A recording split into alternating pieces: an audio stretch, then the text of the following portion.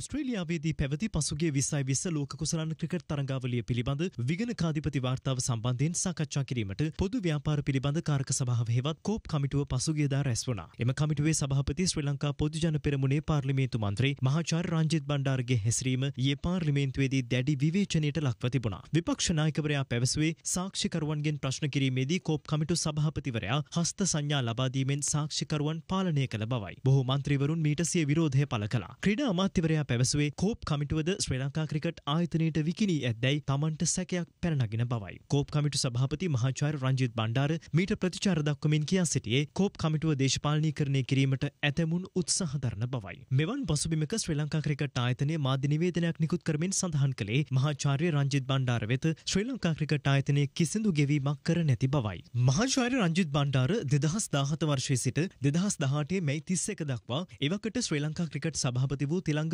සුමතිපාලගේ ආරාධනයෙන් ශ්‍රී ලංකා ක්‍රිකට් විශ්වවිද්‍යාලය ඉදිකිරීම සඳහා වන ව්‍යාපෘතියේ සංකල්ප පත්‍රිකාව සකස් කිරීම සඳහා Colombo school of business and management ආයතනය වෙනුවෙන් ශ්‍රී ලංකා ක්‍රිකට් ආයතනය හා එක්ව කටයුතු කරන ලද අතර ඒ සඳහා ඔහු වෙත කිසිදු ගෙවීමක් කර නැති බවයි ශ්‍රී ලංකා ක්‍රිකට් ආයතනය පෙන්වා දෙන්නේ. අදාළ කාල සීමාව තුළ ශ්‍රී ලංකා ක්‍රිකට් වෙත ලබා දුන් සේවාවන් වෙනුවෙන් එම ආයතනයට ගෙවීම් කර ඇති බවත් ඒ හැර වෙනත් කිසිදු දීමනාවක් මහාචාර්ය රංජිත් බණ්ඩාර වෙත පෞද්ගලිකව සිදු කර නැති බවත් ශ්‍රී ලංකා ක්‍රිකට් ආයතනය වැඩිදුරටත් දන්වා සිටිනවා. එමෙන්ම වත්මන් ශ්‍රී ලංකා ක්‍රිකට් පරිපාලනයට මහාචාර්ය රංජිත් බණ්ඩාර සමග කිසිදු ලබැදියාවක් නැති බවද අවධාරණය කරන බවයි එම නිවේදනයේ දැක්වෙන්නේ. මේ අතර ක්‍රිකට් අතුරුපාලක කමිටුවට එරෙහිව ගොනු කර තිබෙන පෙත්සම් විභාගයෙන් අද තවත් විනිසුරුවරයෙකු ඉවත් වුණා. මෙම පෙත්සම අද ඩීඑන් සමරකෝන් සහ නීල් ඉද්දවෙල යන අයගෙන් සමන්විත අභ්‍යාචනාධිකරණ විනිසුරු මඩුල්ල ඉදිරියේ කැඳවනු ලැබුවේ. එහිදී විනිසුරු මඩුල්ලේ සමාජික විනිසුරු නීල් ඉද්දවෙල සඳහන් කළේ තමන් මෙම පෙත්සම් විභාගයෙන් ඉවත් වන බවයි. මෙම නඩු විභාගයෙන් මේ වන විට විනිසුරුවරු තුන් දෙනෙකු ඉවත් වී තිබෙනවා.